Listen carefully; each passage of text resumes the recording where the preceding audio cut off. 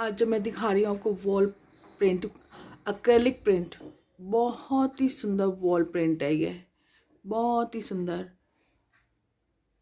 Pheri watch lease